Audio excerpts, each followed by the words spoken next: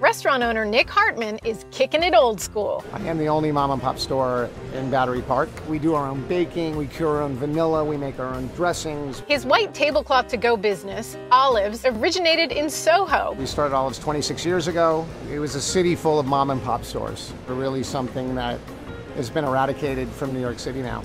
Nick maintains a menu that's homemade, but his latest Olives location in Hudson Eats in Brookfield Place is modern. He needed a point of sale system that was too. The advantage of the Clover system is it puts me in the forefront of technology. And we're able to use the Mini that's here. We have two Flexes that all are being used simultaneously. From checking sales and customer data on his cell, I'm able to see exactly what's going on day to day with all parts of the business. to line busting. I have 30 people in my line. They're getting here, and instead of waiting to pay, I can have four different methods of payment immediately.